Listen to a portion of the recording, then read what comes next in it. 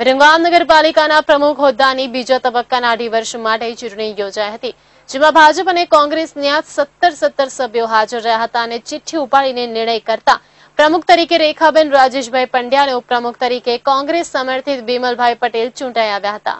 વિરમગામ નગરપાલિકાના વર્ષ બે હજાર પંદરમાં સામાન્ય ચૂંટણી યોજાઈ હતી વિરમગામ નગરપાલિકાના પ્રમુખ હોદ્દાની બીજા તબક્કાના અઢી વર્ષ માટે ચૂંટણી ત્રીજા રોસ્ટર પોઈન્ટ મુજબ સ્ત્રી મુજબ વર્ગના પ્રમુખ અને પ્રમુખ હોદ્દાની ચૂંટણી આજે વિરમગામ નગરપાલિકા ખાતે હતી જેમાં વિરમગામ નાયબ કલેક્ટરના અધ્યક્ષતામાં બેઠક યોજાઈ હતી ડિસેમ્બર બે હજાર પંદરની વિરમગામ નગરપાલિકાના ચૂંટણીમાં ભાજપના સત્તર કોંગ્રેસના સોળ અને અન્ય એટલે કે અપક્ષના ત્રણ કાઉન્સિલરો ચૂંટાઈ આવ્યા હતા ત્યારબાદ ભાજપે સમરસ કરી નગરપાલિકા પર સત્તા બનાવી હતી.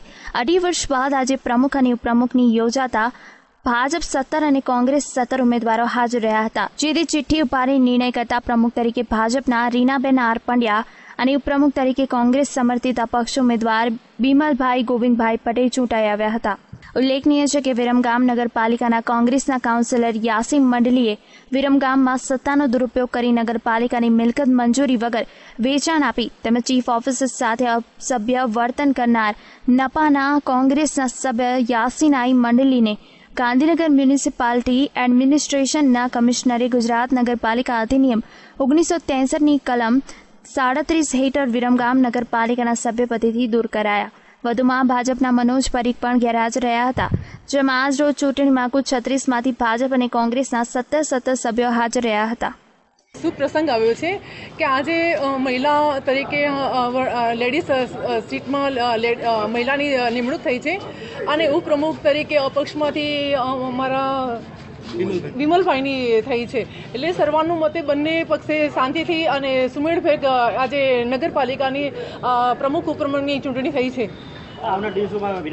અને આવનાર દિવસોમાં વિરમગામનો સારામાં સારો વિકાસ કરીશું. અમે સાથે મળીને જે જે કામો અટક્યા છે જે કંઈ કામોને ફરિયાદો રહી છે એ કંઈ પ્રોબ્લેમ થયા છે એ બધા અમે સાથે મળીને સોલ્વ કરીશું.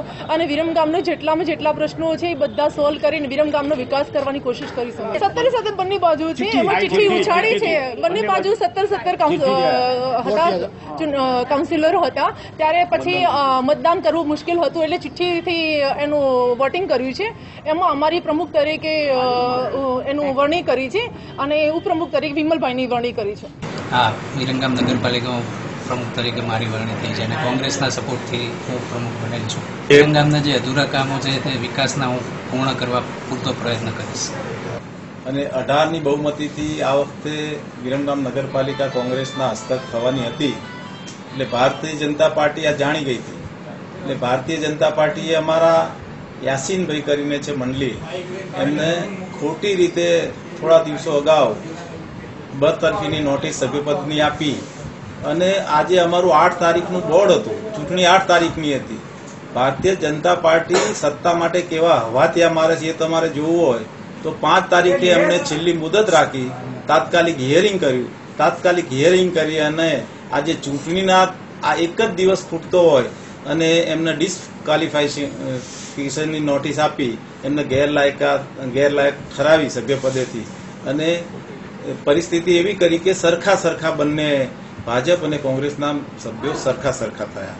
અમારા કોંગ્રેસ પાર્ટીના ઉમેદવાર અને ભારતીય જનતા પાર્ટીના ઉમેદવાર. ટાઈ પડવાથી ચિઠ્ઠીમાં એ લોકો જીતીને નથી આવ્યા.